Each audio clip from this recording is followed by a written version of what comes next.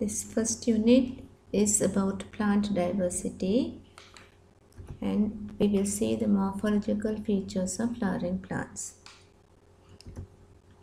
A plant diversity, it means now in our environment we see a wide variety of plants and they all don't look the same. They differ from each other in many aspects and this plant diversity is invaluable because it balances ecosystems, provides shelter for animals, moderates climates, etc. So when we see the morphological features of plants, um, there are many differences and though there are many types of plants differing in size, the environment where they grow, whether they produce flowers or not. But all the plant parts of the plant of a flowering plant is the same. So according to the feature whether the plant produces flowers or not, they are divided into two as flowering plants and non-flowering plants.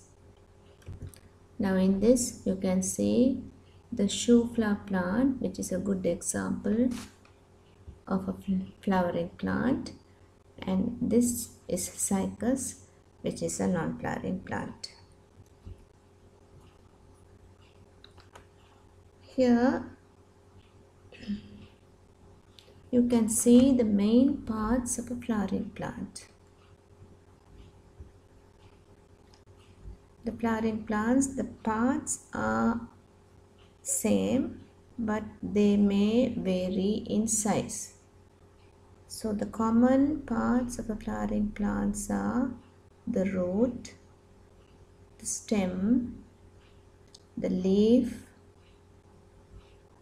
the flower.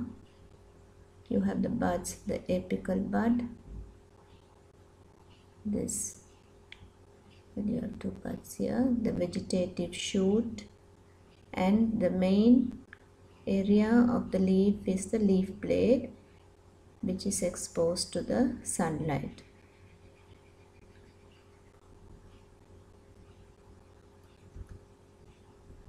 So when we come to the diversity of the parts of flowering plants we go from the root up to the when to the shoot system will go up to the flower.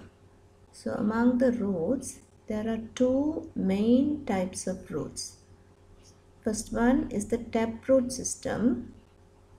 This taproot system is mainly seen in dicot plants that is branched plants. The taproot system has a main root which starts from the ground and grows down. That is called the taproot or the main root. And from the taproot there are many small roots growing sideways. They are known as lateral roots. In the fibrous root system many small roots originate from the same point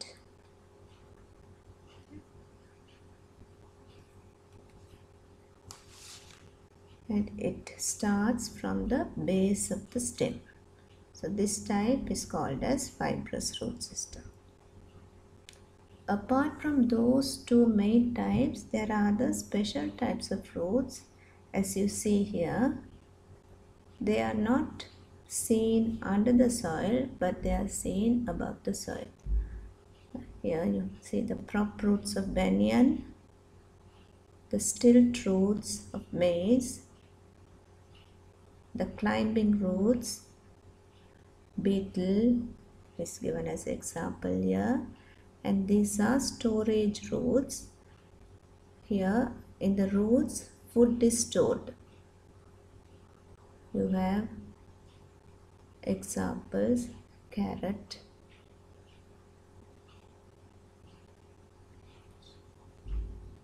Radish etc and these are respiratory roots which help in respiration. Respiration is done through these pores called pneumatophores.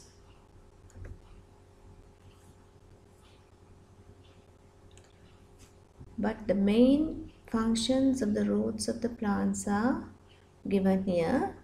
That is, they fix the plant to the soil, absorb water and minerals, and they help in vegetative propagation. So, next is the stem. So, the main difference in stems is whether the stem is branched or unbranched that is the main difference and here you can see a tree with branch stem and this one coconut tree the stem is not branched it is an example for unbranched stem like roots there are special types of stems also. In this you can see the special types of stems.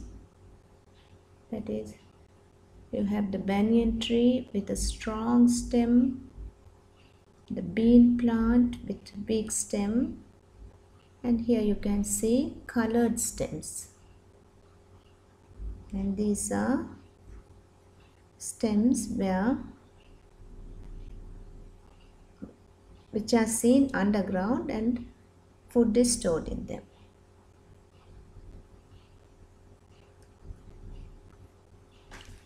The main functions of the stem of a plant are given here that is it bears flowers, leaves, buds and fruits, supports the plant, transports water and food.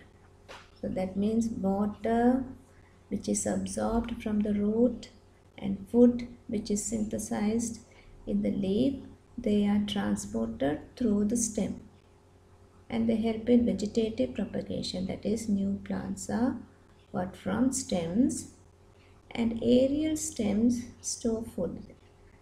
Example is sugarcane and some green stems carry out photosynthesis. Here is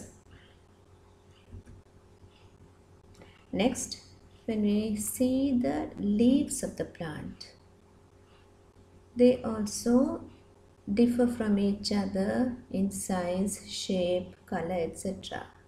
But some parts are common to all the leaves. Now as you see in this diagram of a leaf, you can see have the stipule, the petiole, the base of the leaf, this is the midrib and you can see veins starting from the midrib and going towards the margin of the leaf blade. So the margin that is the tip of the edge of the leaf and the apex is the tip of the leaf. So all these together they are called the leaf blade.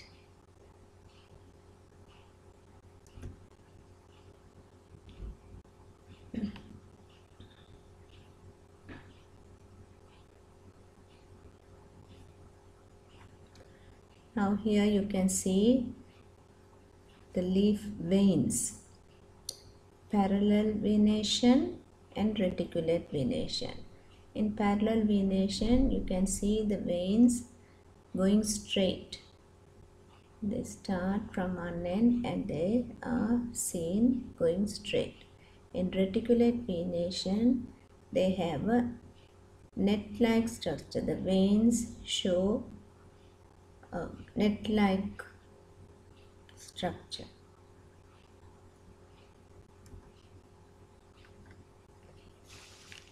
The next difference in the leaf is whether they are simple or compound leaves. When the leaf blade is not divided into segments, it is called a simple leaf. And here you can see the leaf blade will take this whole thing as one leaf blade, it is divided into leaf-like parts, small leaf-like parts. They are called leaflets and as a whole it is called compound leaf. Coming to the functions of plant leaves, the main function of the plant leaf is photosynthesis. That is, they produce food in the presence of sunlight using water and carbon dioxide. Second is storage of water. A good example for that is aloe vera. And here you see bryophyllum leaf example for vegetative propagation that is new plants can be grown from this leaf.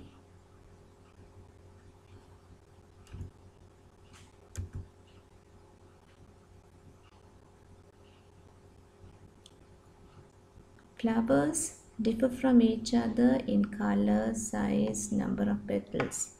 And here this shows an inflorescence. That means it is a bunch of flower this is a single flower.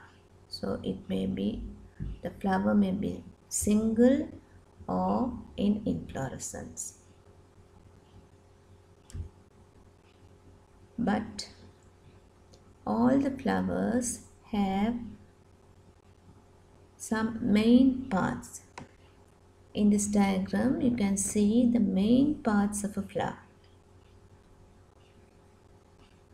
So this is the sepal which is always in green color. This is the pedicel that is the stalk of the flower. This cup-like structure is called the receptacle petal. So petal will differ in size the number of petals seen in a flower will differ and color of the petal will also differ from flower. This round part is known as ovary and inside the ovary you will see ovules. Here you see the stigma, then this is the style, stigma, style and ovary all these three together form the female part of a flower. That is also known as pistil or gynoecium. Here you can see the anther which is in yellow color and the filament here anther and filament together is known as stamen. It is the male part of the flower. Inside the stigma, there is a small tube running from top up to the ovary here. That is called the pollen tube.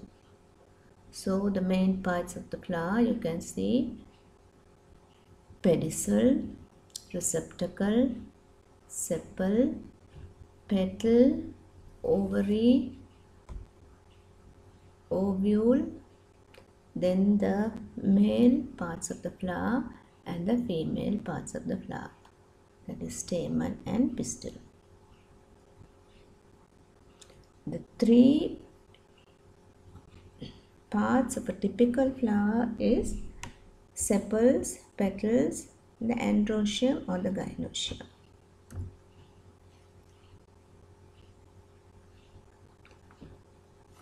Next coming to diversity of fruits and seeds. The diversity of fruits and seeds will help in dispersion of fruits and seeds. So they are naturally adapted for dispersion and the method of dispersion of fruits and seeds are shown here. So according to their structure, their method of dispersion also will differ. Now here you see the fruits and seeds which are dispersed by wind. Second one, the second method of dispersion is by water, areca nut, coconut and lotus. So this third method of dispersion is dispersion by animals. Here you have tomato, pepper and chili.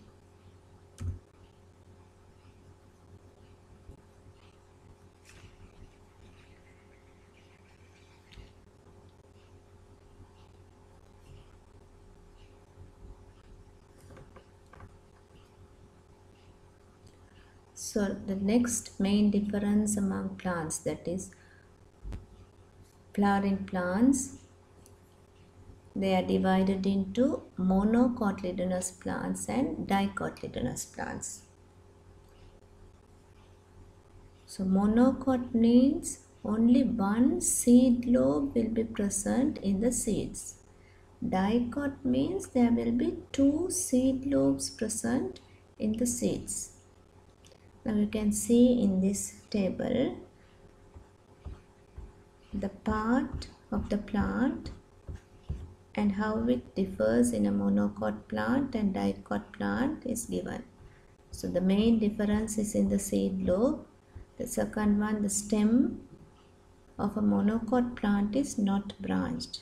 Example, you can see the coconut tree which is not branched and that is a monocot plant and if you take a jack tree it is branched it is a dicot plant. Coming to leaves, monocot plant has parallel venation and dicot plant has reticulate venation. Flowers of a monocot plant, there will be three petals or its multiples. In a dicot plant, there will be four, five petals or its multiples. The root system of a monocot plant is fibrous root system and in a dicot plant it is taproot system.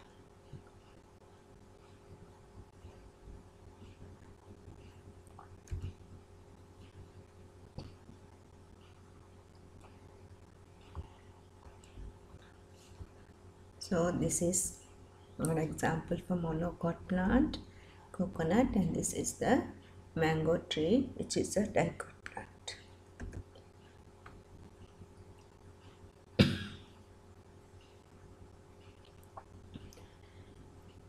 Last one is germination of monocot and dicot seeds.